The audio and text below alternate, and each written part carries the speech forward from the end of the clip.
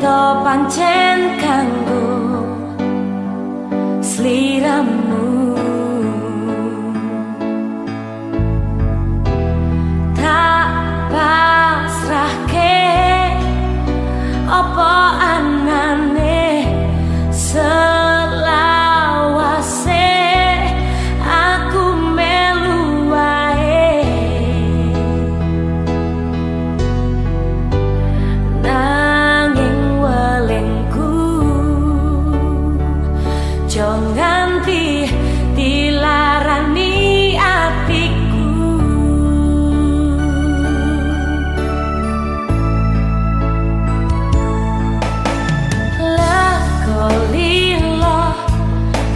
me podo-podo krasa.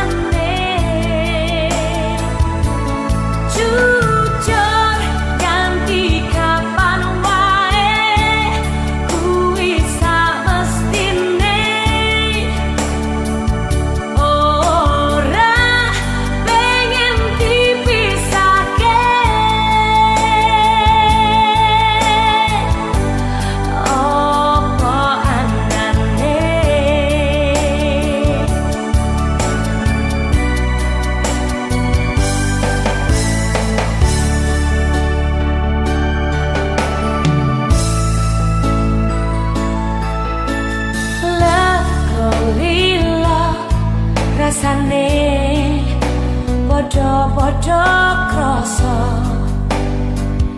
Yen tresno